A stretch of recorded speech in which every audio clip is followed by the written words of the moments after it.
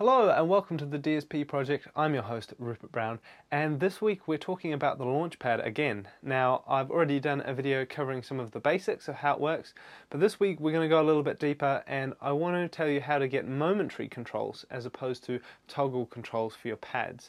Um, the reason is I thought a really good way to test the Launchpad would be to see if I can, what's the best kind of uh, beat cutting uh, fun time setup that I can make for it. And uh, I really need momentary controls to do um, what I'm trying to achieve.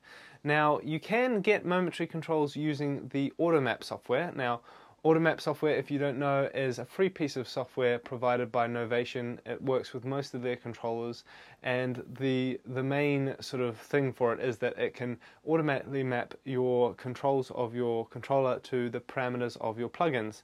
Um, and plus, if you make any changes to what's mapped to what knob, for instance, Automap will remember that, and then even if you're in a completely different set, if you bring that plugin up up again, it will automatically map all the uh, the knobs back to however you like them. But in this case, I'm just using the Automap um, software to change the CC values of a pad from the toggle to the momentary control.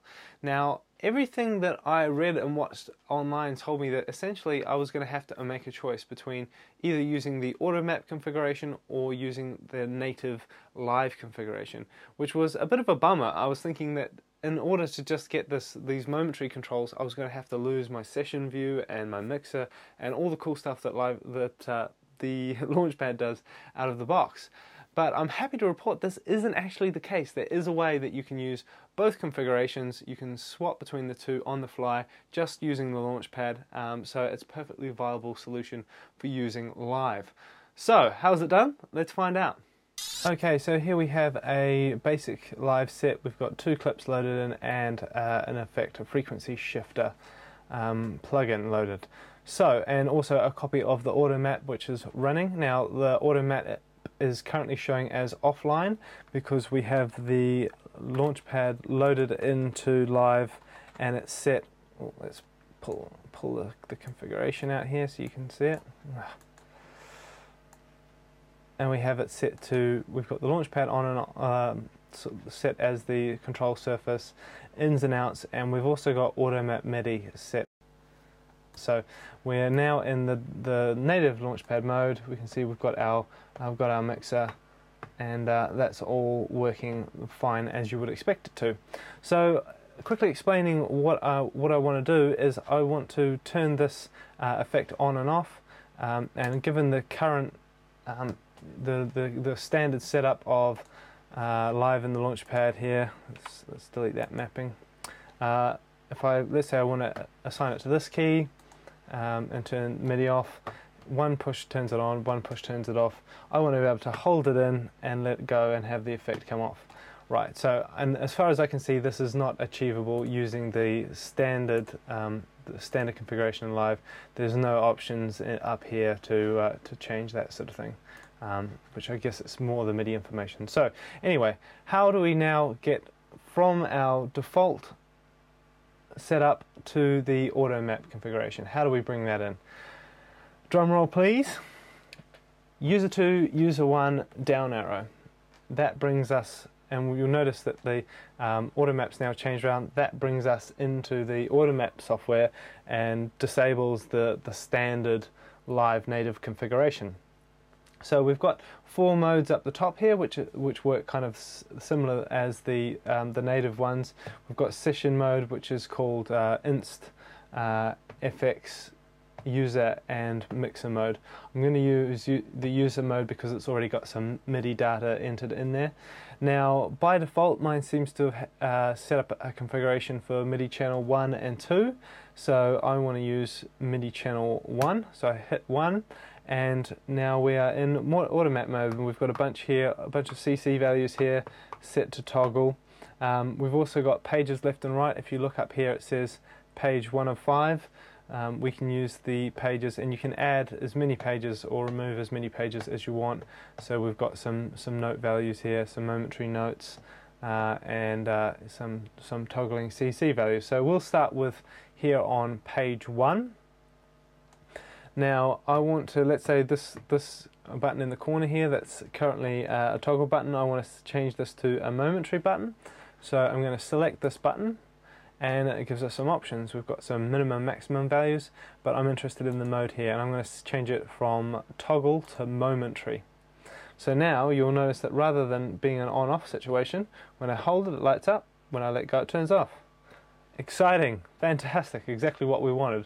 So now let's jump back over to live and map that up. So I click into live, select the MIDI map in the top right hand corner, select the on off button, push delete to delete that previous mapping and I now want to map um, my new special momentary button in the corner here. Push it once, live maps it up.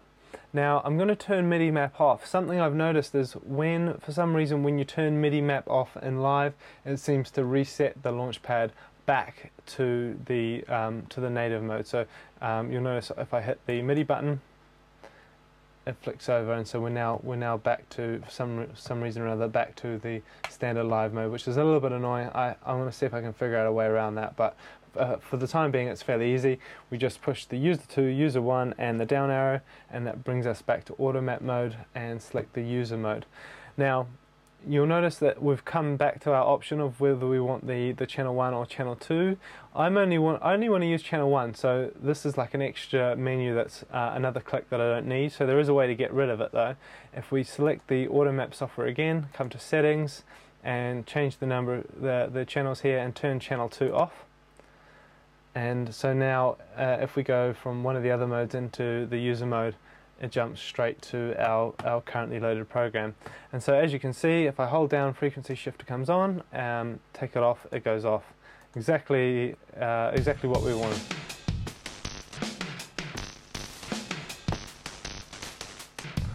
Fantastic. Okay, so not the most exciting audio demo, but you but you get the idea.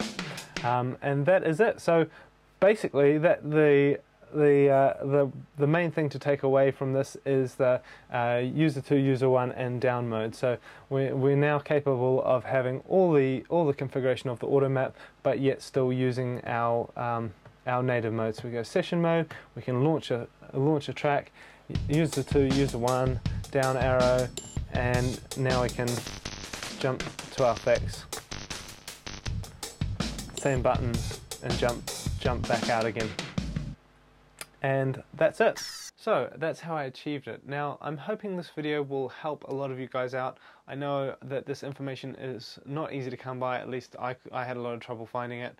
Um, and I think that when you combine the cool things the Launchpad does natively plus the flexibility of the auto map, um, you really it opens up a lot of doors. You can add pages and pages of configurations to the, the auto map software.